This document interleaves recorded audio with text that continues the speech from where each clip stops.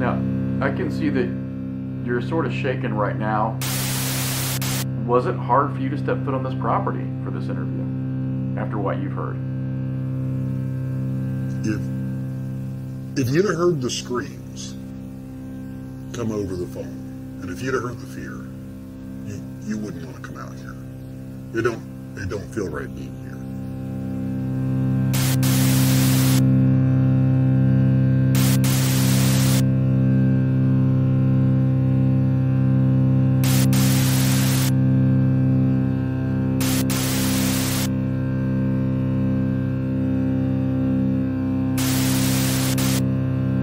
Nine-one-one, what's your emergency? We need someone here immediately. There's people, there's a lot of people trying to get into my house. Okay, well, how many people, ma'am? I don't know. I don't. I don't know how many people. They're just. I. I don't know. Yeah. Okay, Are they inside the house, ma'am? No, we have people Okay, inside. I need you to stay on the line with me. I need you to tell You me guys, what's going on. where is Sean? I, uh, I've been looking outside. I don't know. I don't know.